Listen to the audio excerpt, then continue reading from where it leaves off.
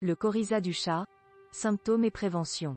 Le coryza du chat est une maladie très courante mais non bénigne, qui peut entraîner la mort chez les animaux non vaccinés. Dès l'apparition des symptômes, il faut consulter un vétérinaire sans attendre.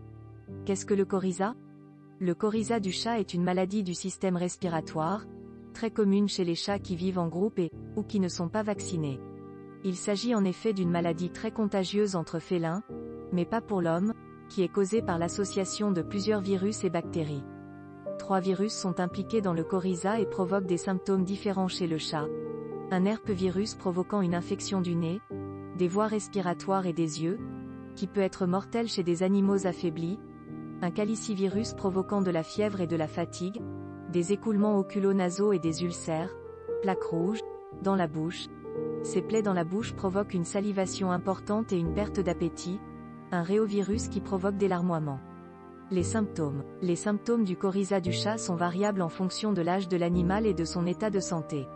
Chez les chats jeunes, la maladie provoque tout, éternuement, écoulement important au niveau des yeux et du nez, conjonctivite et faiblesse de l'état général, perte d'appétit et fièvre.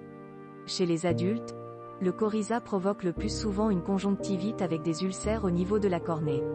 Vous devez consulter un vétérinaire si votre chat éternue, a le nez qui coule et salive de manière excessive. Cette maladie peut être grave surtout si votre chat n'a pas été vacciné.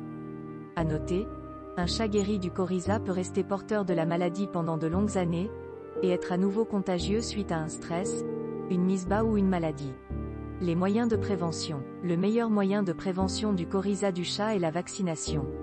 Ce vaccin agit à la fois contre les calicivirus, la rhinotrachéite et les chlamydia, des bactéries qui peuvent aggraver la maladie. La vaccination se fait chez le vétérinaire en deux injections à un mois d'intervalle, avec un rappel tous les ans. À noter, un animal vacciné peut encore contracter la maladie, mais les symptômes seront atténués.